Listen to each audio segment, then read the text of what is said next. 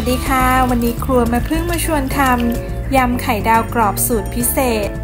หอมแซ่บอร่อยชัวร์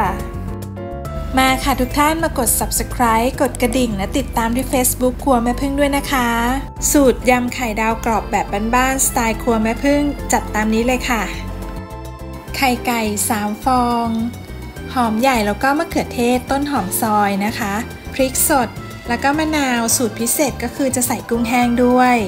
น้ำปลา 2 ช้อนโต๊ะค่ะ น้ำตาลทราย 1-2 ช้อนโต๊ะตามชอบเลยนะคะ แล้วเราก็มาเริ่มทำกันเลยแม่พึ่งจะทอดไข่ดาวในน้ำมันที่ร้อนจัดๆนะคะ จะได้ไข่ดาวที่ฟูกรอบนอกนุ่มใน อร่อยจริงๆค่ะ ในการทอดไข่ดาวให้กรอบจะต้องใช้น้ำมันเยอะหน่อยนะคะ เสร็จเรียบร้อยเราก็จะได้ไข่ดาวฟูกรอบแบบนี้ สูตรนี้แม่เพิ่งทำไว้เป็นอาหารเช้านะคะสำหรับไข่ดาว 3 ฟอง สามารถทำเพิ่มเติมได้ตามจำนวนคนที่ทานเลยค่ะ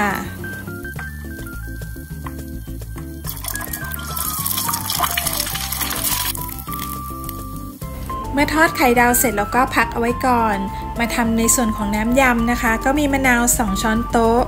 น้ำปลา 2 ช้อนโต๊ะ น้ำตาล 1-2 ช้อนชาค่ะ ชิมแล้วก็ปรับตามชอบได้เลย พริกสดนะคะ ตามชอบถ้าเราชอบเผ็ดเยอะก็ใส่เยอะๆเลยค่ะ แต่แม่พึ่งใส่ประมาณ 1 ช้อนโต๊ะ แล้วก็สูตรพิเศษของเราจะใส่กุ้งแห้งด้วยนะคะ เพราะว่ากุ้งแห้งจะช่วยเพิ่มรสชาติที่ลงตัวมากขึ้น ใส่ผักลงไปได้เลยค่ะคลุกเคล้าผสมให้เข้ากัน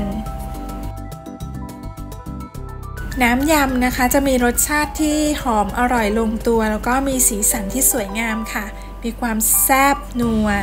เพิ่มกลิ่นหอม แล้วก็รสชาติที่อร่อยเข้มข้นของกุ้งแห้งเข้าไปด้วยนะคะ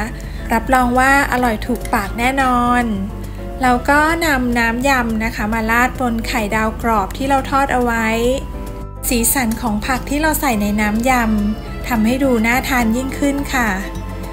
สำหรับแม่ผึ้งแล้วเมนูง่ายๆ แต่ต้องทำให้ดูน่าทาน แล้วก็อร่อยค่ะ